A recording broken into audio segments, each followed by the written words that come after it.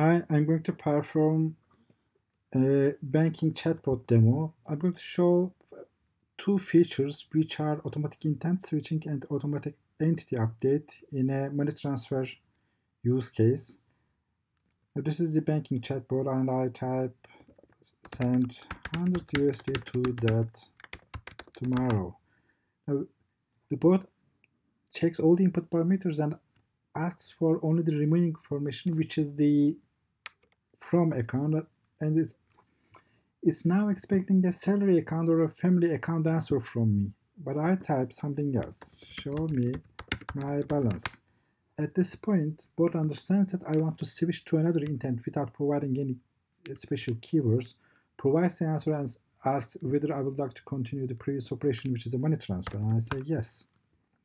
So here I provide the salary answer and it asks for confirmation. And instead of saying yes or no, I'm going to say make it 200. Makes the update and asks again with the updated values and I say yes. So our money transfer is done. Thank you for watching.